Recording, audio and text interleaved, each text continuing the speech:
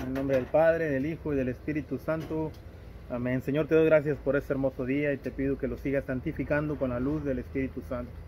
Me pongo en tus benditas manos, Señor, pidiéndote, clamando a ti, para que retires mi humanidad y que tu divinidad hable y comparta lo que quieres compartir a través de este inútil siervo en esta hermosa tarde, esta bellísima tarde, Señor. Bendito y alabado seas.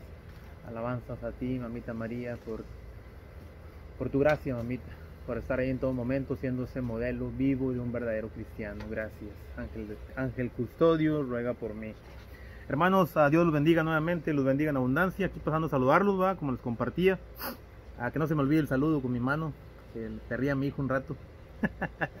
este, hoy uh, quiero compartirles algo, ¿va? algo, quiero compartir un mensaje. Tengo un mensaje para el grupo de WhatsApp, pero quiero empezar con, con la lectura del día de hoy, ¿va? con el Evangelio quiero empezar compartiendo una pequeña reflexión, un pequeño testimonio también de lo que Dios ha hecho en este inútil servidor. Y en la primera lectura me llegan y quiero tomar, quiero tomar dos, dos, este, dos, dos palabras, dos, dos pequeños uh, versículos, va, donde el Señor dice, háganme caso y comerán buena comida. Háganme caso y comerán buena comida y la otra palabra que me llegó hace rato cuando estaba escuchando, cuando estaba leyendo las lecturas en la mañana y las, volví a leer hace rato, siempre acostumbro a leerlas así en determinadas ocasiones para que no se me olviden, hermano, porque no me van a echar mentiras, hermanos, que muchas veces leemos la palabra de Dios o el Evangelio muy temprano y a dos, tres horas o a meses hasta menos tiempo ya se nos olvidó lo que tratado, ¿va? Y la palabra de Dios dice, procura vivir tu vida al nivel del Evangelio. Entonces tenemos que, que poner atención, ¿va? Para poder vivir el Evangelio poder vivir ese momento que el Señor te está hablando. Esa es una forma de escuchar la voz del Señor cuando te habla, leyendo la palabra de Dios y tratar, tratando de, vivir, de vivirla en ese momento, ¿verdad? empezar a vivirla en ese momento, en el momento que tú la escuches. Esa es la voz del Señor. Muchas veces decimos, es que a mí no me habla el Señor. El Señor te, habla a través de tantas cosas, hermano, te habla todos los días. Sobre todo si escuchas el Evangelio, si meditas esas palabras de Dios, las lecturas bíblicas o que leas la Biblia, hermano, ahí se está hablando Dios, hermano, porque es palabra de Dios. Si tú no crees eso, pues ¿Dónde estamos parados entonces, hermano? Y la primera lectura en el libro del libro de Isaías, capítulo 55, versículo del 1 al 3, dice, va, que, que háganme caso y comerán buena comida. Escuchen bien y vivirán. Entonces son dos palabras muy importantes, va, que, que tocaron mi corazón en el Salmo 145 el día de hoy. También dice lo mismo, va, que él, dice, él les enviará la comida a su tiempo. O sea, que la comida siempre llega al tiempo de Dios. Y, el, la segunda lectura pues dice que nada nos apartará, en el capítulo 8 del libro de los Romanos, también nos dice que nada nos puede apartar del amor de Dios, nadie nos puede apartar de la misericordia de Dios, nadie nos puede apartar de la divina providencia de Dios. En la primera, en el Evangelio, hermanos, del Evangelio de Mateo capítulo 14, va claramente a través de Mateo, va a través de San Mateo, Dios nos, muestra la incrementación de los panes, de los pescados, como de tan poquito Dios hace algo grandísimo, ¿va? Busca el reino de Dios y su justicia y todo lo demás se te dará por añadidura. Compone ese poquito, dice el Señor, y todo lo demás se te va a dar por añadidura. Hoy nos habla claramente de esa comida, ¿va? De esa comida. ¿Qué es, la, ¿Qué es esa comida a la que se refiere, va? No solo de pan vive el hombre, dice el Señor, sino de toda palabra que sale de la boca de Dios. Sale de la boca de Dios, hermanos. Hoy el Señor se refiere claramente, va, a toda esa presencia de Dios, a toda esa presencia, a toda esa gracia de Dios. como la gracia de Dios? Háganme caso, dice el Señor, háganme caso y les daré buena comida. ¿Cuál es esa buena comida que el Señor se refiere, hermano? La Santa Eucaristía, que es lo más grande en espiritualidad que puede haber en esta vida. La Santa Misa. ¿Cuál es esa comida a la que se refiere el Señor, hermano? ¿Qué es lo que te habló en esta mañana en esta, sí, en esta mañana cuando te despertaste o cuando fuiste a misa temprano, cuando fuimos a misa temprano, ¿cuál es esa palabra, hermano? ¿Cuál es esa comida a la que se refiere el Señor el día de hoy para tu vida? La Santa Eucaristía, hermanos, la palabra de Dios, el rosario, hermanos. ¿Qué es lo que se refiere el Señor? Hoy el Señor nos quiere, nos hace esa invitación a recibirnos, a, a recibirlo a Él completamente a través de la gracia, hermanos, a través de la Santa Eucaristía, a través de la misa, a través de la reconciliación, del sacramento de la reconciliación, a través del sacramento de la penitencia. Hoy el Señor nos habla a recibirlo a través del sacramento, hermanos, a través de esa entrega. ¿Qué, lo, qué, significa sacramento? Algo sagrado, hermanos, sagrado, Dios, hermano, divinidad. providencia, hermano. ¿Qué, qué, qué te habló el Señor el día de hoy, hermano? ¿Qué fue lo que te habló? Me gustaría que me compartieras ahora ahí ahí en, los, los comentarios, hermano. ¿Qué te habló el Señor? ¿Cuál es esa comida a la que se refiere el Señor para contigo, hermano? ¿Cuál es esa, esa, esa, esa, esa comida a la cual el Señor está diciendo? Háganme caso y recibirán buena comida. ¿Qué nos habla el Señor? Hoy el Señor nos habla a hacerle caso, hermano. A cumplir los mandamientos, a hacer su voluntad, a hacer obras de misericordia, a no vivir simplemente de la fe, sino practicar las obras, como dice el capítulo, como dice la, carta de los romanos también, la, carta tesalonicenses creo también. A, vivir esas obras también, hermanos, a vivir esa obra con fe, a crecer en la presencia de Dios. Hoy el Señor dice, aquí estoy yo, soy tuyo, tómame, yo soy la comida que tú quieres. ¿Cómo puedes recibir al Señor, hermano, como comida? A través de la Santa Eucaristía, a través de la Santa Misa, a través del Rosario, a través de las horas de misericordia, a través del crecimiento en las virtudes, a través de los ministerios, hermano, a través de la visita al Santísimo, a través de las, de, las consagraciones, como ahorita que estamos haciendo la consagración en los 33 días a, nuestra Madre Santísima, al Inmaculado Corazón de María, a través de a través de la ayuda al prójimo, hermanos, a través de las obras de caridad, la virtud, la virtud de la caridad, hermanos, la virtud de la piedad. Porque el Señor nos hace una invitación bien grande, y nos muestra cómo cuando tú te abres a recibir esa comida, Él te da manos llenas, hermano. Como les dijo, sacíense, les dijo a los a, todos esos cinco mil hombres, sacíense, se saciaron, hermano, comieron a llenar, comieron a llenar, comieron a llenar, y aún así el Señor todavía sobran muchos canastos de comida todavía. Sobran los 12 canastos de comida. Entonces, es lo que muestra el Señor. Siempre te da y te da en abundancia. Por eso yo siempre cuando digo que Dios te bendiga, hermano, y que te bendiga en abundancia. ¿Por qué?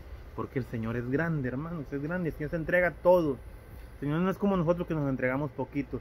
Si nosotros fuéramos comida, hermano, no quisiéramos darnos nada. Nosotros nos damos poquito, hermano. Dios se da todo. Dios se da todo nosotros completamente. Por eso dice la segunda carta de los capítulos a los romanos, ¿va? en el libro de los romanos, capítulo 8, dice que nada nos puede apartar del amor de Dios, ni los ángeles, ni las potestades, ni, ni siquiera ángeles, potestades, dice, va, nadie te puede, ni siquiera los, enemigos espirituales, nada, nada, nada te puede apartar, absolutamente nada, ni los problemas, hermano, ni la falta de, ni la falta de comida, en la casa, ni la economía, hermano, ni los problemas, ni las tribulaciones, ni las tormentas, ni las desolaciones, ni los desiertos, nada te puede apartar del amor de Dios. ¿Por qué? Porque Dios entrega completamente todo, hermano. Yo quiero compartirte algo, mira, hablando de eso desde la incrementación de panes. Hace como casi seis años, me recuerdo cuando empezamos en este camino, mi esposa y yo, eh, hicieron un retiro de nueva vida en la parroquia nosotros, y como nosotros ya lo habíamos tomado en el centro carismático, pues ya, ya lo habíamos tomado, entonces nos invitaron a, a participar y nos, nos, compartieron que si podríamos ayudarles en la cocina. Y recuerdo que mi esposa y yo, pues encantados, va, era, pues era el primer retiro que íbamos a servir, hermanos, andábamos bien contentos, bien llenos de la presencia de Dios. Y recuerdo que, que nos dejaron solos, o sea, no nos dejaron solos, nosotros solos, pues todo el grupo de oración nos invitó a, ayudarles, ¿verdad? Y, pues no se consiguió más gente, hermano, porque la idea era de que todos ellos vivieran el, el retiro Nueva Vida algunos ya lo habían vivido, pero que ya el, padre quería que lo volvieran a vivir. Entonces nosotros nos invitaron y pues, mi esposa con todo gusto y yo nos hicimos cargo de, lo que es la cocina, hermanos. Y recuerdo que nosotros quisimos hacernos cargo de todos los gastos, hermanos. Recuerdo que mi esposa y yo, bueno, mi esposa más que nada, ella solita fue a la Walmart aquí, aquí en Alvin, Texas y, y fue y, habló con, pues, con el gerente de ahí, va, y le dijo que, que, íbamos a tener un retiro de parte de la iglesia que se podían ayudarnos con, con fruta, lo que sea. Y pasó algo tan hermoso de cómo la misericordia de Dios es tan grande y siempre está ahí presente. Cuando tú te abres, cuando tú le haces caso, como dice el libro de Isaías, háganme caso y les daré buena comida. Recuerdo que traíamos 50 dólares, hermanos. Y con 50 dólares, hermanos, Dios, porque fue Dios, no fuimos mi esposa ni yo, con 50 dólares le dimos comida, o Dios le dio comida, o Dios nos dio comida porque nosotros también comimos. Nos dio almuerzo y comida en, el retiro, en el, retiro, a más de 200 personas, hermanos. Y es algo sorprendente, va, cómo, cómo Dios entrega, cómo Dios dice, les daré comida a mi tiempo. Y cuando Dios da, Dios da manos llenas, hermanos. Dios, Dios no da poquito. Por eso dice la palabra de Dios, cuando Dios empieza algo lo termina, porque Dios nunca deja nada incompleto. Dios siempre da absolutamente todo. Y así pasó esa vez, hermano. Recuerdo que, que todos se quedaron sorprendidos porque pues mi esposa y yo preparamos toda la comida, cortamos toda la fruta, los hermanos únicamente nos ayudaron a servir a la hora de la comida, por ejemplo. Pero mi esposa y yo nos encargamos de todo, lavar los trastes, limpiar, barrer, trapear, todo hicimos. Y al final de cuentas, una, una, la esposa del diácono, cuando, cuando ya se acabó el retiro, dijo, yo quiero, quiero que, pues, un aplauso a Dios, un aplauso a mamita María. Y al final dijo, quiero que den un fuerte aplauso al servicio, dijo, al servicio que dieron los hermanos Mario y María. Este, ellos solitos, como los vieron, andaban para allá, para acá, para acá, y hay que reconocer eso cuando la gracia de Dios se mueve. Entonces, ¿qué era lo que nos movía, hermanos? La gracia de Dios, esa comida que el Señor te da, esa comida que tú, te, cuando, tú cuando tú le haces caso y, el Señor te da, te brinda esa comida, como dice, háganme caso y les daré buena comida. Esa comida que el Señor cuando uno le hace caso y trata de vivir todo bajo su voluntad, trata de vivir en esa obediencia al Señor, en esa entrega al Señor bajo hacia la voluntad de Dios, Dios te brinda todo, hermanos. Ya sabes, Dios nos brindó todo. Incrementó esa comida que juntamos con 50 dolaritos, hermanos. Incrementó como si hubiéramos gastado. Tú sabes que en un retiro aquí en Estados Unidos se viene gastando casi, casi, casi como 800, 900 dólares, hermano, de comida. Para tanta gente, hermanos. Eran más de 200, como 280 creo que eran. Y, o no, o como unos 200, era, era más de 200, hermano. No recuerdo bien el número exacto, pero eran más de 200. Eran mucho más de 200. Entonces, es increíble cómo Dios incrementó todo ahí. Igual que el Evangelio el día de hoy va, Jesús dice que Jesús se preocupó ya por toda esa gente, vio la necesidad. Hermanos, ¿tú crees que Dios no mira la necesidad de lo que estás pasando en tu vida en este momento? ¿Tú crees que Dios no mira la necesidad? Claro que la mira, porque nada te puede apartar del amor de Dios, como dice la carta a los romanos, hermanos. Nada te puede apartar del amor de Dios. Absolutamente nada. Así se hace el más pecador. Por eso dice que entre donde abunda el pecado, sobreabunda la gracia de Dios. ¿Por qué? Porque Dios ama al pecador. No ama al pecado. Dios no ama a ese murero. Pero Dios te ama a ti, hermano. Me ama a mí. Nos ama a todos, hermano. Nos ama por igual. Que Dios nos elige de diferentes maneras, otra cosa. Pero nos ama a todos de manera igual. Entonces, hoy el Señor te hace esta invitación. Háganme caso y recibirán buena comida. Es una pregunta bien grande que hace el Señor. Yo siempre he compartido que cualquier cosa que tú leas referente a Dios, siempre agarres una palabra. Que la Biblia dice una palabra tuya bastará para sanarnos. En cada misa nos lo recuerda el Señor. En cada misa, Señor, yo no soy digno de que vengas, a de que entres en mi casa, pero una palabra tuya bastará para sanarme. Una palabra siempre tiene que buscar. Hoy el Señor puso en mi corazón esa palabra. Háganme caso y recibirán buena comida. ¿Le estás haciendo caso al Señor, hermano? ¿Estás pidiendo buena comida cuando le estás haciendo caso al Señor o no le estamos haciendo caso al Señor? queremos buena comida, pero no le hacemos caso al Señor, o le estamos haciendo caso al Señor, por eso pedimos buena comida. Es la pregunta que te hace el día de hoy, hermano. ¿Le estamos haciendo caso al Señor? ¿Estamos viviendo en obediencia al Señor? ¿Estamos entregándonos en verdad, en cuerpo y alma al Señor? ¿Estamos en realidad? Tú no me vas a, tú no me vas a dejar mentir, hermano, pero ¿a poco no hay veces que miras a una persona y puedes mirar hasta su alma, hermano? que a veces el Señor te brinda esa comida de poder mirar, hermanos, poder experimentar. Cuando miras a una persona y puedes mirar hasta el alma de Dios, un alma bondadosa, un alma entregada a Dios. Esa es la gracia de Dios. Esa es una persona que se está abriendo y haciéndole caso al Señor y se está abriendo a la, a la, a la voluntad de Dios y está recibiendo buena comida del Señor. Está recibiendo espiritualidad. está recibiendo gracia, perdón. está recibiendo esa gracia, hermanos esa gracia santificante del Señor. Hoy el Señor te habla, hermano, te habla, te habla, te habla bien claro. Háganme caso y recibirán buena comida. ¿Quieres cosas buenas en tu vida? ¿Quieres que tu esposo vuelva a tu casa? ¿Quieres dejar de tener tantos problemas o al menos tener problemas, pero tener la fortaleza para poder vivir con esos problemas? Hazle caso al Señor, hermano. Hagámosle caso al Señor. Dejémonos de hipocresía. Dejémonos de palabras nada más de boca, de aquí para pero nada de aquí. Este pueblo me alaba con los labios, pero su corazón está lejos de mí, dice la palabra de Dios. Hoy el Señor te invita, hermanos, te invita a través de este inútil siervo, o no se invita, porque a mí también, primero viene a mí la palabra. Háganme caso y recibirán buena comida. Háganme caso y recibirán buena comida. Escuchen bien y vivirán. ¿Cómo estamos viviendo, hermano? ¿Cómo estamos escuchando la voz del Señor? ¿Acaso creemos, hermano, estamos creyendo que Dios nos habla? O, por ejemplo, en este momento que Dios te estoy hablando de Dios. ¿Estás creyendo que Dios te habla a través de mí, hermano? ¿Crees en realidad en fe que Dios te habla a través de mí? ¿O simplemente escuches por escuchar y nada? Escuchen bien y vivirán, dice el Señor. ¿Quieres vivir? ¿Estás viviendo en este momento o estás muerto en vida, hermano? Porque es triste, es triste estar vivo, hermano, poder respirar, poder mirar, poder escuchar, poder disfrutar de esta belleza que Dios nos regaló, de la naturaleza, de todo, hermano, y estar muerto en vida, hermano, y parecer, parecer y aparentar, hermano, transmitir esa, esa muerte espiritual, estar quejándote. Mira, una persona que se queja de todo, hermano, estoy sincero, es una persona muerta, hermano. Una persona que se queja de todo, que, que tiene vida, que tiene salud, que tiene, tiene familia, que aunque tu esposo esté lejos de ti, pero tienes vida, tienes salud, aunque tu esposa esté retirada de ti, tienes vida, tienes salud, tienes trabajo, tienes todo, hermano. ¿Cómo puedes decir que estás muerta? ¿Cómo, cómo, cómo podemos, eh, cómo podemos transmitir esa muerte, hermano? Esa muerte espiritual. ¿Cómo podemos transmitirla, hermano, cuando Dios nos ha dado todo? ¿Sabes por qué, hermano? ¿Por qué transmitimos eso? Porque pasamos la vida quejándonos. Pasamos la vida quejándonos de todo oh, es que esto, no, queremos las cosas rápidos, queremos todo rápido, oh, es que, pues no sé, todo me siento mal, ah, pues es que empecé el rosario y no lo puedo terminar, oh, es que, pues quiero hacer ayuno, pero siento que no puedo, oh, es que me cuesta levantarme en las madrugadas a orar, no me levanto, hermano, pon la alarma, hermano, hermano, si no te puedes levantar en la madrugada y tú, y tú sientes que la oración de la madrugada tiene poder, hermano.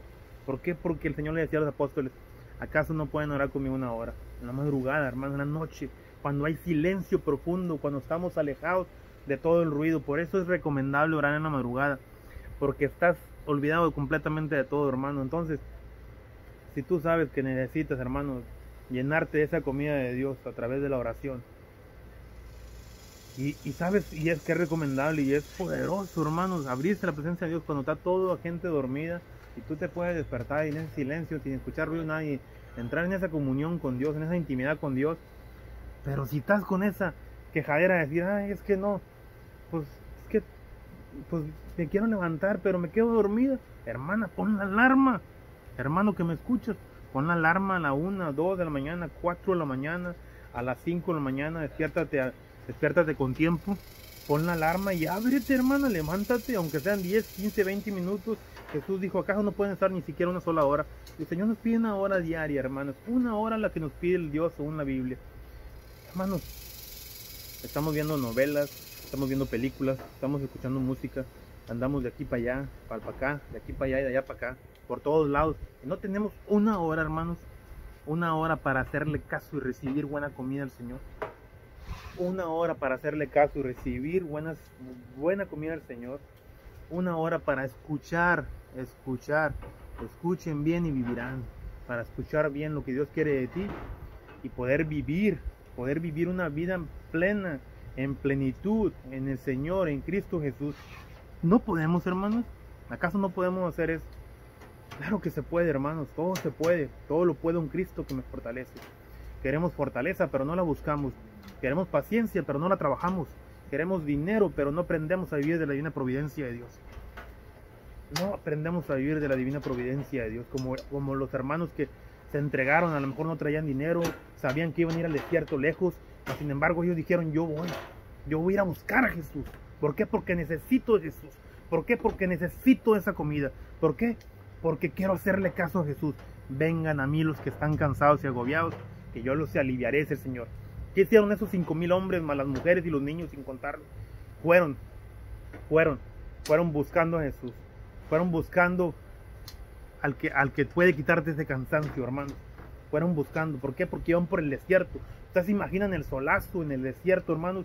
Y multitud, entre multitud. Si uno solo cuando camina, hermano, está caliente. Ahora imagínate toda la multitud junta. No creo que los cinco mil hombres hayan andado como ahorita que andamos a seis pies de distancia por el distanciamiento social de la pandemia. No creo, hermano. Yo imagino todos se montón juntos caminando para llegar a donde estaba Jesús. Imagínate el calorón, hermano. Pero ¿quién? Ellos iban buscando. Vengan a mí los que están cansados. Ellos iban. Ellas, ellas iban buscando. Háganme caso y recibirán buena comida. Ellos iban buscando la comida. ¿Sabes cuál fue la comida más que le dio el Señor? Esos hombres, hermano, no se saciaron por la comida material, hermano.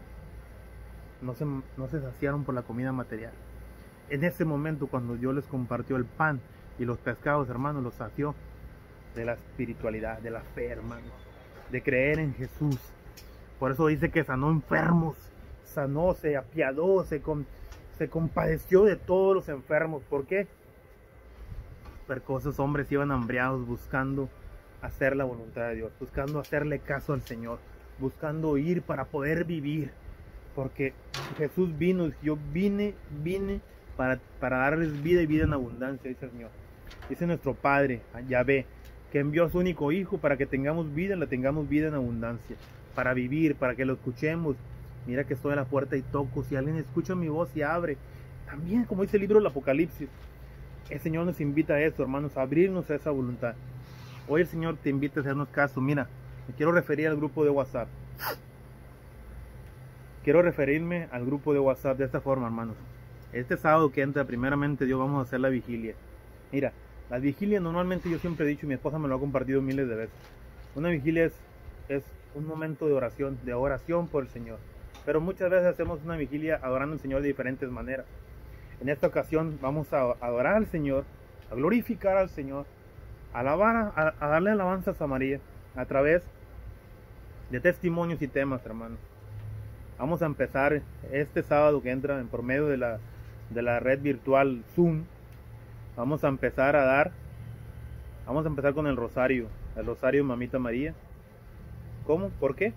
Porque vamos a pedir la intercesión de nuestra Madre Santísima para que obre ella y para que nos ayude en todo momento a llevar a cabo esta obra que el Señor está poniendo. Después vamos a hacer el rosario de la divina misericordia, pidiéndole misericordia a Dios por nosotros, por cada uno de nosotros, por cada uno de los que van a compartir el tema, por cada uno de los que vamos a escuchar. Escuchen bien y vivirán. A escuchar bien, para que Dios abra los oídos y escuchemos bien. Penetre aquí, no aquí, aquí. Penetre aquí, hermanos, y poder vivir, hermanos, y poder empezar a vivir ya como Dios manda, en la presencia de Dios, con fortaleza, con carisma, con dones, con, con, con gracia, hermanos, con la gracia de Dios. La palabra de Dios dice que mi gracia baste. Necesitamos de esa gracia, hermano, porque Dios dijo que era lo que nos bastaba, la gracia de Dios. Entonces necesitamos de esa gracia, esa comida espiritual, esa comida que el Señor nos quiere compartir. Háganme caso y recibirán buena comida. De eso es lo que queremos. Entonces, vamos a empezar de esa manera y después vamos a empezar los temas con alabanzas. Vamos a tratar de hacer todo como si fuera un, como si estuviéramos en la iglesia, hermano, ¿sí me entiende? Como un grupo de oración en la iglesia. Vamos a hacer como un mini retiro, una vigilia que, que, se convierta como en un mini, en mini retiro porque va a haber testimonios muy buenos, testimonios que tengan que hablar o temas que tengan que hablar con el alejamiento de los hijos, vivir lejos de los hijos, un tema muy grande que vivimos ahorita en la actualidad muchos padres, un tema sobre la homosexualidad en los hijos. Yo creo que muchos se van a identificar con este tema, la homosexualidad, hermanos. Hoy es triste llegar a las escuelas o a las escuelas en este país, sobre todo en este país. Yo creo que es igual en todo el mundo en este momento. Llegar a las escuelas en este país y mirar jovencitos besándose. Jovencitos, hombres, besándose, agarrándose las manos, con los uñas pintadas, con el pelo largo. Y no los estoy juzgando a ellos. Juzgo el pecado que, que están cometiendo. Juzgo la aberración que están cometiendo. Entonces, Dios nos ama a todos, hermanos, y yo quién soy yo para no amarlos. Yo los amo también. y me duele esto que estamos pasando. Pero ¿sabes qué pasa? ¿Por qué pasa esto, hermano? Por el alejamiento de Dios en la vida. Porque no le hemos hecho caso al Señor para poder recibir esa buena comida. Que es el buen ejemplo, el testimonio de nosotros. Nuestros hijos están perdidos, hermanos. Están perdidos, están confundidos porque como padres no hemos sabido ser esos pastores que Dios quiere en nosotros. ¿Por qué? porque no le hemos hecho caso a nosotros a Dios, como queremos que nuestros hijos les hagan caso a Dios. Hoy en la actualidad es triste y lo he compartido miles de veces que llega, he llegado el momento de conocer jovencitos, jovencitos que les hablo yo si me preguntan, ¿y ese quién es? ¿Y ese que tú hablas quién es? Yo nunca había escuchado hablar de Dios. O sea, quiere decir que hay hogares, hermanos. Hay hogares que absolutamente nada se habla de Dios hay, hogares que absolutamente tienen un desconocimiento total completo, desde el más arriba hasta el más chico, desde el padre hasta el más chico, dijo que no tienen conocimiento absoluto de Dios, hermanos, y es triste. Es triste, hermanos, porque sí los hay. Hay muchos hogares, hermanos, que están pasando por esta situación, y es triste. ¿Por qué? Porque no le estamos haciendo caso a Dios para recibir la buena comida. Ese impulso, esa fortaleza para levantarnos, salir y caminar y proclamar la grandeza del Señor, proclamar esa palabra viva al Señor.